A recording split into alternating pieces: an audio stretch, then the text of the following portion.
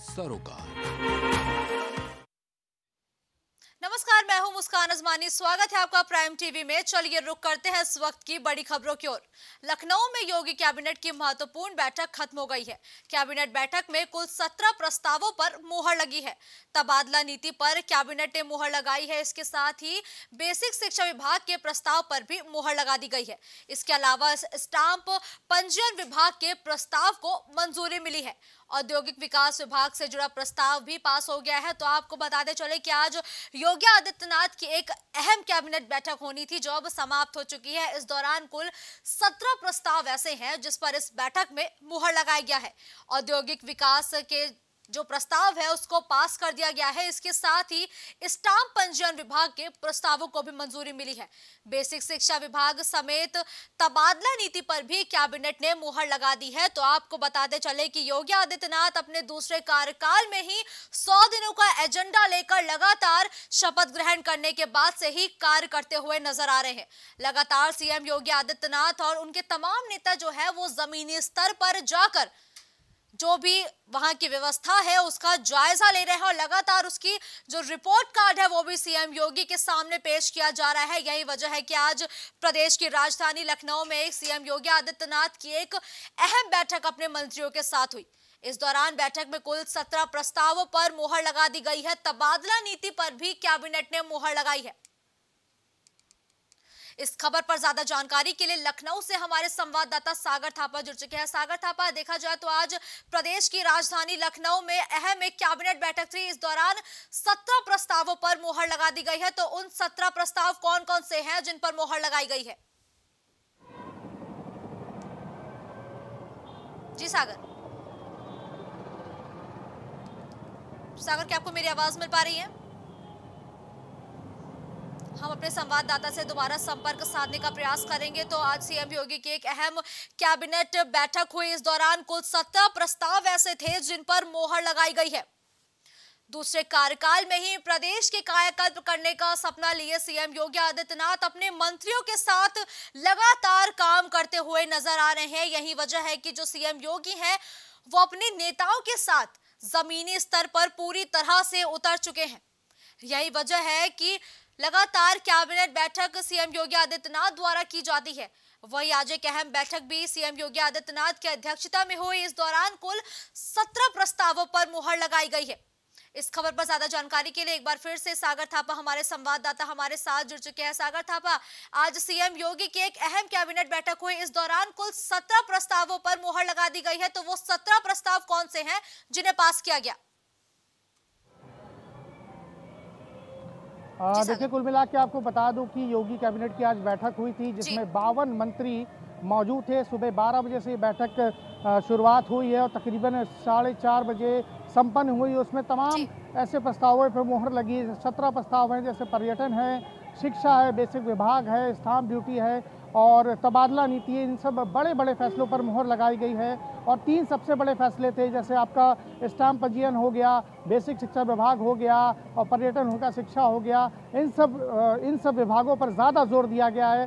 पहले से क्योंकि आपको बताता चलूँ कि जो चुनाव हुए थे 2022 के विधानसभा चुनाव कहीं ना कहीं आम आदमी पार्टी से लेकर समाजवादी पार्टी अखिलेश यादव से लेकर तमाम जो है अरविंद केजरीवाल से लेकर बड़े बड़े दिग्गज नेता भारतीय जनता पार्टी को एक बड़े मुद्दे पर घेरने की नीति बना रहे थे और सबसे बड़ा मुद्दा बेसिक शिक्षा विभाग भी था जिसमें अब सरकार ने एक नीति बनाई है और ये उम्मीद की जा सकती है कि जो भी बेसिक शिक्षा विभाग की जो कमियाँ हैं, अब गुणवत्ता में बदलेगी और सरकार इसमें बड़ा काम करेगी। जी। सागर, अगर देखा जाए तो आज कुल सत्रह प्रस्तावों को मोहर लगाई गई है और ये सभी सत्रह प्रस्ताव जो कई विभाग है, उनसे जुड़े हुए हैं, लेकिन ऐसे बड़े कौन से प्रस्ताव पर मोहर लगाई गई जिन पर जनता की निगाहें टिकी हुई थी? देखिए जनता की निगाहें तो हर वक्त टिकी ये रहती है कि देखिए महँगाई कम हो और उनके सुविधाएँ सुख सुविधाएँ बढ़ी। तो आपको बता दूँ कि सरकार ने सबके बारे में सोचा है हेलीपैड से लेकर जो राष्ट्रीय राजमार्ग हैं और तमाम जो ऐसे शिक्षा से लेकर मेडिकल से लेकर पर्यटन पर्यटन से लेकर सरकार ने हर उस विषय में ध्यान दिया है जो एक आम आदमी के एक इच्छा होती है आम आदमी की एक एक जागरूकता होती है उसे जानने और उसे समझने में परखने में। तो सरकार ने हर वो मुद्दे पर ध्यान दिया है जिसे आम आदमी अपने जीवन में चाहता है। जी। सागर थापा, ये माना जाए कि इस बैठक के ज़रिए जो सीएम योगी ने सौ दिनों का एजेंडा तय किया था प्रदेश का कायाकल्प करने के लिए, उस पर काम करती हुई नज़र आ रही है। देखिए सभी मंत्रियों को अपने अपने ज़िले की अपने अपनी ज़िम्मेदारी दी गई थी और सभी को सौ दिनों का खाका तैयार करने को दिया गया था। तो वो खाका भी आज सीएम योगी के सामने मंत्रियों ने पेश किया है और कहीं ना कहीं आपको बताता चलूँ कि जो मंत्रियों के पेश किया है मंत्रियों ने सीएम योगी के सामने वो रिज़ल्ट लगभग पॉजिटिव ही आया है। क्योंकि कहीं ना कहीं आपको भी लगता है और समाज को भी लगता है कि बीजेपी काम कर रही है। तो इसी वजह से जो मंत्री हैं उन्होंने खाका पेश किया और कहीं ना कहीं रिज़ल्ट में पॉजिटिव उतरे हैं और साथ ही आपको बताता चलूँ कि योगी कैबिनेट की जो बैठक हुई थी उसमें प्रस्ताव तो सारे पास हुए हैं। अब मोहर भी लग चुकी है लेकिन सबसे बड़ा प्रस्ताव ये भी था इन तीन प्रस्तावों को सबसे ज़्यादा ध्यान दिया गया था जो एक तबादला नीति होती है बेसिक शिक्षा विभाग की जो ज़रूरतें होती हैं तमाम जो मूलभूत सुविधाएँ होती हैं उन पर ध्यान दिया गया और एक स्टाम्प पंजीयन विभाग होता है उस पर भी ध्यान दिया गया है उस पर भी काम कर रही है सरकार और आगे उम्मीद करते हैं कि बेहतर काम करेगी। जी। सागर, अगर देखा जाए तो इस बैठक से पहले तबादला नीति को लेकर एक काफ़ी गहन चर्चा हो रही थी। लोगों को इस नीति से उम्मीदें थी कि इस पर मोहर ज़रूर लग सकता है। तो अब इस नीति पर मोहर लगा दिया गया है तो इससे क्या कुछ फ़ायदा देखने को मिलेगा आ, देखिए आपको बताता चलूँ कि जो तबादला नीति थी उसमें तमाम तरह के घोटाले और तमाम तरह के भ्रष्टाचार की खबरें हम और आपको लगातार हम और आप लगातार दिखाते आए हैं सुनाते आए हैं अपने दर्शकों को। लेकिन अब इससे ये सबसे बड़ा फ़ायदा होगा कि जो घोटाले होते थे जो भ्रष्टाचारों की खबरें आती थी तबादला नीति को लेकर या तबादलों को लेके या फिर किसी भी जगह को लेकर अब वो इन सब चीज़ों पर एकदम कुल मिला के रोकथाम लगेगी और ये सब चीज़ें पूरी तरह से बंद होती नज़र आ रही हैं। जी। सागर, अगर देखा जाए तो इस साल के अंत में निकाय चुनाव है, जबकि 2024 में लोकसभा का भी चुनाव है तो क्या ये माना जाए कि इस बैठक में 2024 और निकाय चुनाव को भी साधने का प्रयास किया गया है? हाँ देखिए मानी हुई बात है कि कोई भी सरकार अगर आती है वो सत्ता में रहती है तो सबसे पहले वो अपने भविष्य की सोचती है। तो मुझे लगता है कि इस बार अगर हमें है तो हम आने वाले पचास साल या आने वाले कई दशकों तक अपने क्षेत्र की अपने जिला की अपने राज्य की सेवा करें और जनता को एक बार फिर से जनता के मन में जगह बनाए। तो कहीं ना कहीं भाजपा की ये नीतियाँ भी काम आ रही हैं। भाजपा अपनी नीतियों पर काम लगातार कर रही है। चाहे विकास हो शिक्षा हो मेडिकल हो और तमाम ऐसी मूलभूत सुविधाएँ हो जिनसे लोग कहीं ना कहीं वांछित रह जाते हैं। ग्रामीण जो इलाका होता है उसमें शिक्षा का स्तर काफ़ी निचला होता है। लेकिन अब बेसिक शिक्षा विभाग के कारण बेसिक शिक्षा विभाग पर जो मोहर लगी है तो उसमें ग्रामीण इलाकों में एक नई उमंग आएगी और लोगों में एक नई नीतियाँ देखने को मिलेगी। तो बीजेपी लगातार इस नीतियों पर काम कर रही है और बीजेपी का साफ़ साफ़ कहना है कि अगर हम नीतियों को लाएँगे समक्ष जनता के सामने तो जनता हमें ऑटोमेटिकली अपने आप ही चुन कर लाएगी और सत्ता पर दोबारा से काबिज करेगी। 2024 जी। और जो निकाय चुनाव है उस पर काफ़ी फ़र्क पड़ने वाला इन सब चीज़ों को लेकर। जी। धन्यवाद सागर थापा इस खबर पर हमारे साथ जुड़ने के लिए। तो अभी आपने सुना किस तरह से हमारे संवाददाता ने जो आज सीएम योगी आदित्यनाथ के सत्तर प्रस्तावों को पास किया है उसको लेकर एक अहम जानकारी हमारे साथ साझा की। बेरोजगारी के मुद्दे पर विपक्ष लगातार केंद्र और प्रदेश की सरकार को घेरती हुई नज़र आती है और विपक्षी लगातार सरकार पर हमलावर हो रहे हैं। इसी बीच योगी सरकार के वित्त मंत्री सुरेश खन्ना ने एक बड़ा ऐलान किया है। उन्होंने कहा कि उत्तर प्रदेश पुलिस में जल्द ही चालीस हज़ार पदों पर भर्ती होगी। वित्त मंत्री ने ट्वीट इसका, ट्वीट कर इसका ऐलान किया है कि यूपी पुलिस में जल्दी चालीस हज़ार पदों पर भर्ती होगी। चयन बोर्ड से भर्ती के लिए मंजूरी भी मिली है। तो यानी ये कहा जाए कि अब प्रदेश के जो भी बेरोजगार युवा है, उनके लिए वित्त मंत्री सुरेश खन्ना ने एक बड़ी सौगात पेश की है। तो प्रदेश के युवाओं को वित्त मंत्री द्वारा बड़ा तोहफा दिया गया है कि यूपी पुलिस में अब जल्द ही चालीस हज़ार पदों पर भर्ती होगी। तो ये एक बड़ी खबर इस वक्त प्रदेश के युवाओं के लिए निकल के सामने आ रही है। साथ ही चयन बोर्ड से भर्ती को लेकर मंजूरी भी प्राप्त हो गई है, जिसकी जानकारी वित्त मंत्री सुरेश खन्ना ने ट्वीट करते हुए सभी युवाओं के साथ साझा की है और आप इस वक्त प्राइम टीवी की टेलीविज़न स्क्रीन पर उनका ट्वीट भी देख सकते हैं कि किस तरह से उन्होंने एक ट्वीट करते हुए प्रदेश के युवाओं को सौगात दी है। प्रदेश के युवाओं में एक जोश भर दिया है कि अब उत्तर प्रदेश पुलिस में चालीस हज़ार पदों पर भर्तियाँ होंगी। जी हाँ एक बड़ी खबर इस वक्त आपको हम बता रहे हैं, जहाँ प्रदेश में युवाओं के लिए वित्त मंत्री सुरेश खन्ना एक नई सौगात लेके आए हैं। इस खबर पर ज़्यादा जानकारी के लिए लखनऊ से हमारे संवाददाता विभांशु जुड़ चुके हैं। विभांशु वित्त मंत्री सुरेश खन्ना ने ट्वीट करते हुए प्रदेश के युवाओं को एक बेहद ही बड़ी सौगात दी है। जी मुस्कान आपको बता दें कि उत्तर प्रदेश के अंदर में यूपी पुलिस के तमाम जो भर्तियाँ होती है ऐसे जो छात्र हैं जो ऐसे अभ्यर्थी हैं उनके लिए बेहद खुशी का दिन है आज क्योंकि आपको बताएँ कि उत्तर प्रदेश में चालीस हज़ार यूपी पुलिस के अंदर में भर्तियाँ आने वाली है। जल्द ही भर्तियाँ ये जो है वो जो अभ्यर्थी हैं उनके लिए जारी किया जाएगा। साथ ही आपको बताएँ कि उत्तर प्रदेश के प्रमुख सचिव अवनीश कुमार अवस्थी की तरफ़ से इसकी जानकारी दी गई साथ ही साथ उत्तर प्रदेश सरकार के वित्त मंत्री एवं संसदीय कार्य मंत्री ने इसके ट्वीट करके जानकारी दी। वही मुस्कान आपको बता दें कि खास करके अगर देखा जाए तो चालीस हज़ार रिक्त पदे जिसपे हमें विपक्ष कहीं ना कहीं सवाल उठाते हुए विधानसभा चुनाव में दिखा। उसको अ, उसका सवाल उठाते हुए दिखा तो उसी क्रम में अब उत्तर प्रदेश सरकार की तरफ़ से कहा यह जा रहा है कि उत्तर प्रदेश के जो रिक्त 40 पद चालीस हज़ार पद जी। ब- ब- खाली है उत- उत्तर प्रदेश पुलिस के अंदर में उसमें जल्द ही भर्ती की जाएगी। वहीं आपको बताएँ कि अब देखने वाली बात ये होगी कि ये चालीस हज़ार जो भर्ती की बात कही जा रही है ये कब की जाएगी और किस आधार पे की जाएगी? वहीं आपको बताएँ कि उत्तर प्रदेश में पीएससी के अंदर में 8,540 भर्तियाँ की जाएँगी। वहीं जेल वार्डन में के अंदर में पंद्रह भर्तियाँ की जाएँगी। वहीं आपको बताएँ कि रेडियो शाखा के तहत 2430 भर्तियाँ की जाएँगी। तो कुल मिला के अगर देखा जाए तो चालीस हज़ार जो पुलिस कर्मियों की नई भर्ती आई है इससे उत्तर प्रदेश के अंदर में जो पुलिस की तैयारी कर रहे हैं यूपी पुलिस में जाने के अरमान रखते हैं उनके लिए बेहद खुशी का पल है।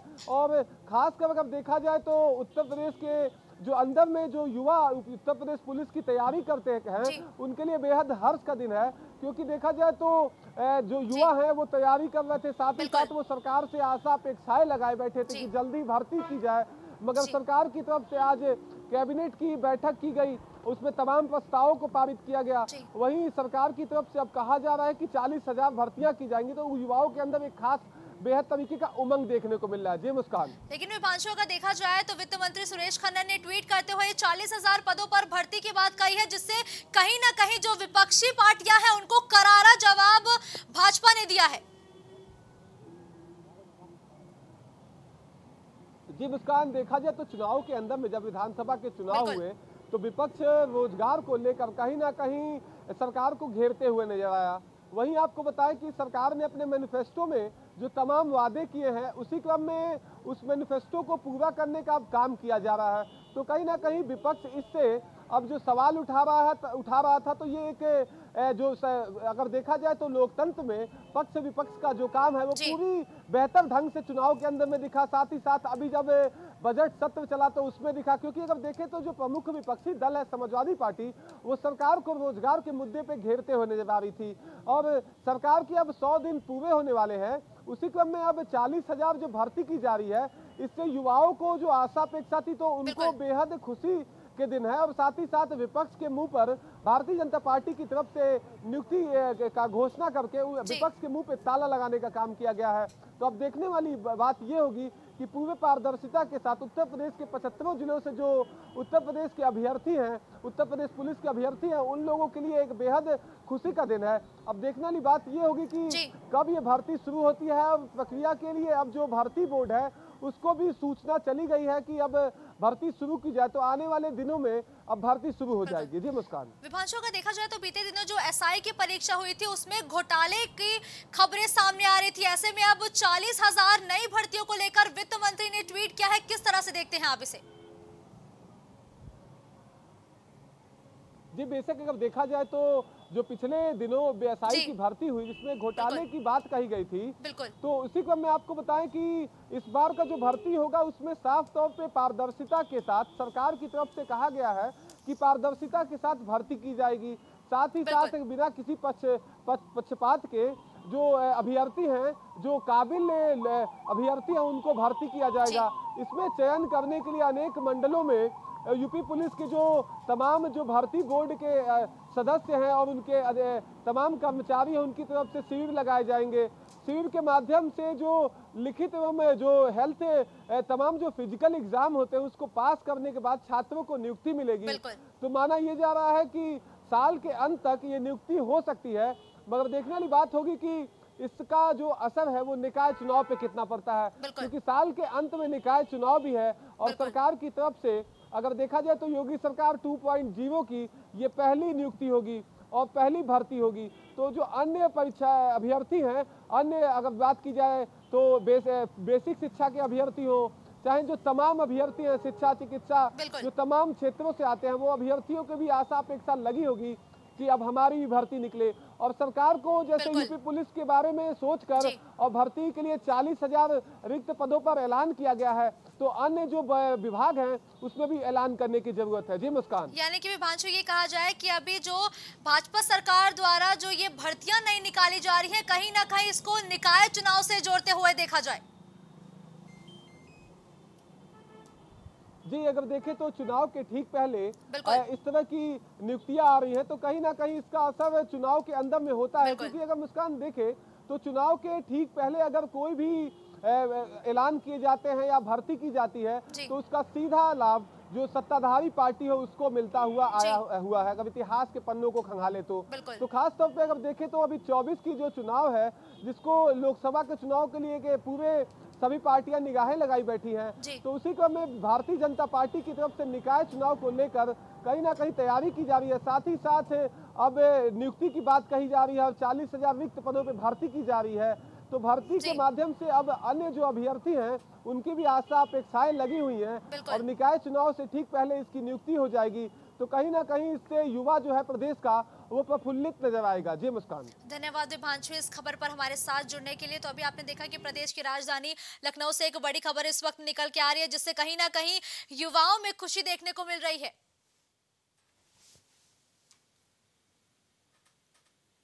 कानपुर हिंसा मामले में पुलिस लगातार एक्शन ले रही है। सूत्रों के अनुसार एटीएस और एसआईटी की पूछताछ में बड़ा खुलासा हुआ है। जानकारी के मुताबिक नई सड़क में उपद्रव कराने के लिए उन्नाव ज़िले से भारी भीड़ बुलाई गई थी। सीडीआर से कल मोबाइल नंबर भी निकाले गए और मास्टरमाइंड ज़फ़र हयात ने बताया कि बिरयानी की दुकान वाले फंडिंग करते थे। शत्रु संपत्ति पर काबिज बाबा बिरयानी के मालिक का भी इस दौरान इस मामले को लेकर नाम सामने आया है। खुलासे में यह भी कहा गया कि राम जानकी मंदिर तोड़कर बिरयानी की दुकान बनाई गई। लगातार सात घंटे तक मास्टरमाइंड ज़फ़र हयात से बंद कमरे में पूछताछ की गई। तो आपको बताते चले कि कानपुर में तीन जून को हुई हिंसा से लेकर आज तक लगातार पुलिस कई खुलासे कर रही है। इस मामले को लेकर हर दिन कुछ ना कुछ नया खुलासा सामने आ रहा है। ज़फ़र हाशमी से पुलिस हर दिन लगातार पूछताछ कर रही है। वहीं ज़फ़र हाशमी ने इस दौरान कई ऐसे अहम नाम लिए हैं, जिसकी लगातार पुलिस जाँच पड़ताल करने में जुटी हुई है। इस खबर पर ज़्यादा जानकारी के लिए कानपुर से हमारे संवाददाता रिजवान जुड़ चुके हैं। रिजवान, तीन जून से हुई हिंसा को लेकर आज तक पुलिस लगातार कोई ना कोई नए खुलासे कर रहे हैं। तो अभी तक इस मामले पर आपके पास क्या कुछ अपडेट है रिजवान?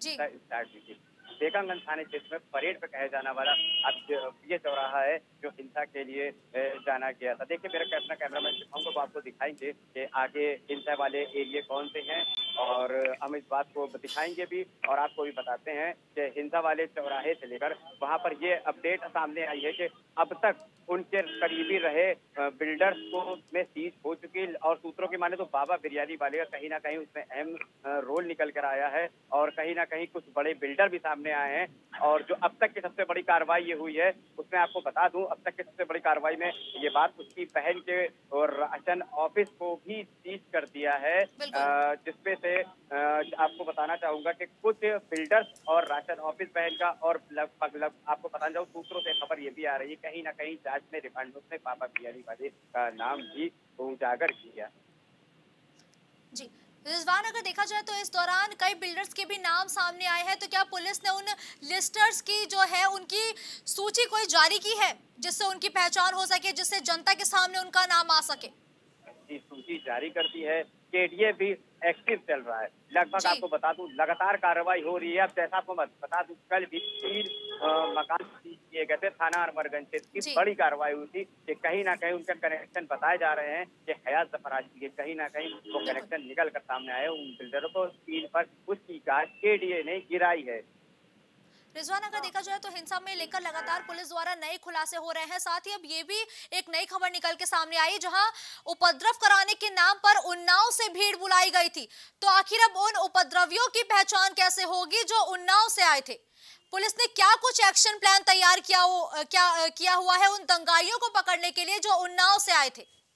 आपको एस आई टी की टीम ने भी कहीं ना कहीं ये बात ज़ाहिर की कि उन्नाव के गाँव के कुछ लोग यहाँ पर आए थे जो के दबंग बताए जा रहे हैं जिनकी उम्र अभी लगभग आपको बता दूँ इसमें से कुछ बच्चे थे कुछ नाबालिग बच्चे थे जिनका नाम तो नहीं आया पर कहीं ना कहीं फ़ोटो में नज़र आए हैं तो प्रशासन लगातार कार्रवाई करती ही जा रही है और लगातार उस एरिए में अभी भी प्रशासन अमला मौजूद है और कड़ी से कड़ी निगरानी रखते हुए चाक चौक चौकसी की को सब व्यवस्थाएँ बिल्कुल सही है यहाँ पर। और कहीं ना कहीं बच्चों को यही कहीं ना कहीं माँ बाप के उनके ये कहना है कि मेरे बच्चे नहीं थे। और कहीं ना कहीं आपको ये बता दें कहीं ना कहीं पोस्टर ये बता रहा है कि उनके बच्चे थे। अब पुलिस का मामला ये है कि दोषियों को ही किरे पर पकड़ा जाएगा। निर्दोष पे कोई कार्रवाई नहीं होगी ऐसा यहाँ पर प्रशासनिक अमला का कहना है। रिजवानी का आखिरी प्रश्न मैं आपसे लेना चाहूँगी कि इस हिंसा को लेकर बाबा बिरयानी के मालिक का भी नाम सामने आया है। तो क्या पुलिस ने उनकी गिरफ्तारी कर ली है? इससे पहले भी बाबा बिरयानी का नाम आपको बता दें वहाँ पर राम जानकी मंदिर का ट्रस्ट बताया जा रहा था। कहीं ना कहीं ये भी बताया जा रहा था, था कि राम जानकी ट्रस्ट में वो बिरयानी की शॉप पर है। अब कहीं ना कहीं वहाँ पर हयात ज़फ़र आजमी के कनेक्शन उन्होंने बताए हैं। मगर ये खबर एक सूत्रों के हवाले से जो कि अभी पूरी तरह से पुष्टि नहीं करता न प्रकाशन के बारे में तैयार मैं आपको बता दूँ कि जिस तरह माहौल था अब कहीं ना कहीं प्रशासन ने उस पर कंट्रोल कर लिया एक हद तक अब यहाँ पर कानपुर शहर अमन और चैन का शहर है। धन्यवाद रिजवान, इस खबर पर हमारे साथ जुड़ने के लिए तो कानपुर में हुई हिंसा को लेकर लगातार पुलिस द्वारा नए खुलासे किए जा रहे हैं और ताबड़तोड़ दो जून के बाद से हुई हिंसा को लेकर आज तक पुलिस द्वारा दंगाइयों के खिलाफ कार्रवाई की जा रही है। रायबरेली के बिजलामाऊ गाँव में माँ और दो बच्चियों का संदिग्ध परिस्थितियों में फांसी के फंदे से शव लटकता हुआ मिला। इस घटना से इलाके में हड़कंप मच गया। ग्रामीणों ने पुलिस को फ़ोन पर सूचना दी। वहीं मौके पर पहुँचे पुलिस ने तीनों शवों को कब्जे में लेकर पोस्टमार्टम के लिए भेज दिया है। वह इस मामले पर पुलिस का कहना है कि जाँच रिपोर्ट आने के बाद ही मामले का खुलासा हो पाएगा कि आखिर ये मामला हत्या का है या फिर आत्महत्या का है। तो एक बड़ी खबर इस वक्त रायबरेली से निकल के सामने आ रही है, जिससे पूरे इलाके में सनसनी फैल गई है। इस दौरान पुलिस द्वारा माँ के साथ दो बच्चियों का शव बरामद किया गया है, जिसकी सूचना ग्रामीणों ने पुलिस को फ़ोन पर दी थी। वही मौके पर पहुँची पुलिस ने तीनों ही शवों को कब्जे में लेकर पोस्टमार्टम के लिए भेज दिया है। वही अब इस मामले पर पुलिस का कहना है कि जाँच रिपोर्ट आने के बाद ही मामले में यह खुलासा हो पाएगा कि यह हत्या है या आत्महत्या है। तो आप तस्वीरें भी देख सकते हैं कि किस तरह से रायबरेली में ये खबर मिलने के बाद ही क्षेत्र में सनसनी फैल गई। लोगों में दहशत का माहौल देखने को मिल रहा है। वहीं ये भी खबर निकल के सामने आ रही है कि जिस वक्त ये पूरा कांड हुआ, उस दौरान जो युवती का पति है, वो वहाँ पर मौजूद नहीं था और ये भी खबर सामने आ रही है कि युवती का पति कहीं बाहर जाकर नौकरी करता था। तो रायबरेली के बिछलामाऊ गाँव की ये पूरी घटना सामने निकल के आ रही है। देखिए आज सुबह सूचना ये मिली है बिटाना गाँव में एक महिला ने जिसकी उम्र करीब बत्तीस साल की है और वो शादी को के अभी स्पष्ट नहीं सात साल कोई बता रहा है कोई छः साल बता रहा है। आ, उसने अपने दो बच्चों एक की उम्र पाँच साल एक की उम्र तीन साल दोनों लड़कियाँ थीं। उसने पहले उनको कमरे के अंदर खुद को बंद करके कुंडी से उनको लटकाया और फिर खुद भी उसने आपको अपने आप को हैंग कर लिया। सुबह उसकी देवरानी ने जब देखा तो उसने घर वालों को बुला करके दरवाज़ा बाहर से ताला बंद था। इस महिला ने खुद ही ताला बंद किया था और दूसरे रास्ते से अंदर चली गई। तो भी आपने सुना कि किस तरह से पुलिस द्वारा एक बयान भी दिया गया है कि ग्रामीणों की सूचना पर उनको ये जानकारी मिली, जिसके बाद उन्होंने बिना ही देरी किए मौके पर पहुंचकर तीनों ही का शव कब्जे में लेकर पोस्टमार्टम के लिए भेज दिया है। साथ ही मामले की जाँच पड़ताल में भी जुट गई है। इस खबर पर ज़्यादा जानकारी के लिए रायबरेली से हमारे संवाददाता अजय प्रताप जुड़ चुके हैं। अजय प्रताप रायबरेली के बिछलामाऊ से एक दिल दहला देने वाली घटना सामने आई, जहाँ एक माँ के समेत तीन बच्चियों का शव बरामद हुआ है। तो क्या कुछ अपडेट है इस मामले पर आपके पास?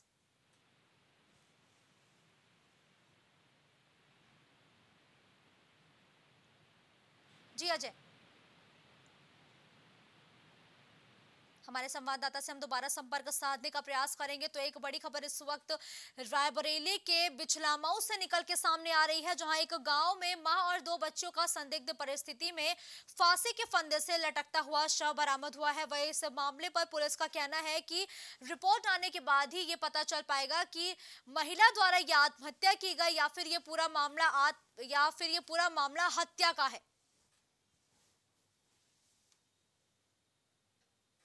इस खबर पर एक बार फिर से हमारे संवाददाता रायबरेली से अजय प्रताप हमारे साथ जुड़ चुके हैं। अजय प्रताप रायबरेली के बिचलामऊ से एक दिल दहला देने वाली घटना सामने आई है तो क्या कुछ अपडेट है इस मामले पर आपके पास?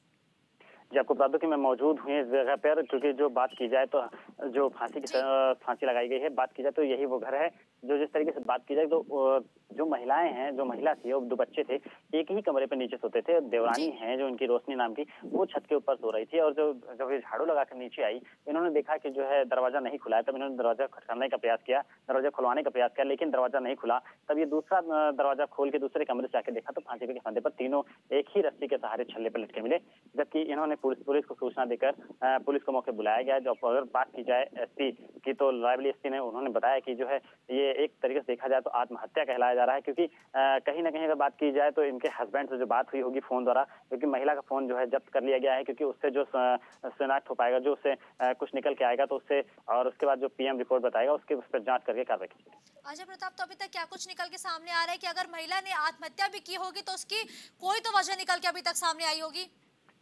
जी अगर बात की जाए इन लोगों की तो यही कहा जा रहा है क्योंकि जो इनका कहना है कि पति जो है बात जो है पति जो इनका बाहर पंजाब वहाँ पंजाब में रहते हैं जो कि दो महीने से लगातार वहीं से रह रहे हैं इनसे संपर्क नहीं हो पा रहा था और जब भी संपर्क होता था थोड़ा सा विवादित जो है संपर्क होता था और कहीं ना कहीं देखा जाए तो इसको लेकर पुलिस की जो पहली प्राथमिकता प्राथमिकता है वो कहीं ना कहीं इसको लेकर हो रहा है कि जो है पति से कुछ कहा सुनी हुई है उसको उसको लेकर कुछ नाराज़गी जताते हुए आत्महत्या की गई अजय प्रताप अगर देखा जाए तो इस दौरान दो बच्चियों के भी जो फंदे से लटकने की बात सामने सामने आ रही है तो इन दोनों ही बच्चों की उम्र तकरीबन कितनी बताई जा रही होगी?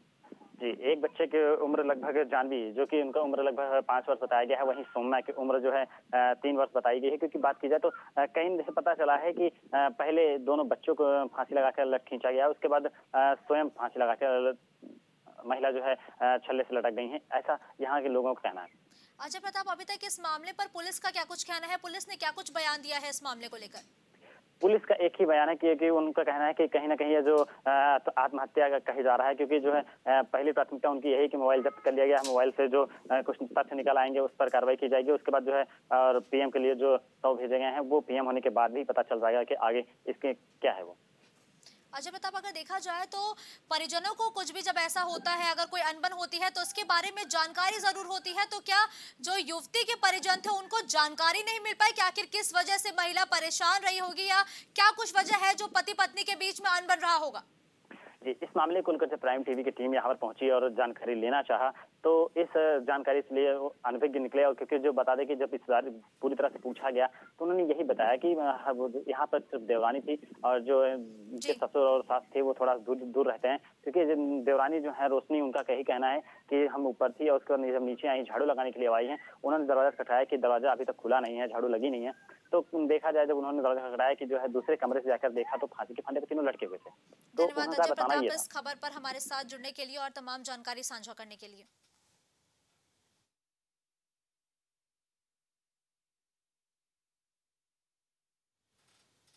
फ़िलहाल हमारे इस खास प्रोग्राम में इतना ही। देश और प्रदेश की तमाम बड़ी और ताज़ा तरीन खबरों के लिए आप देखते रहिए प्राइम टीवी।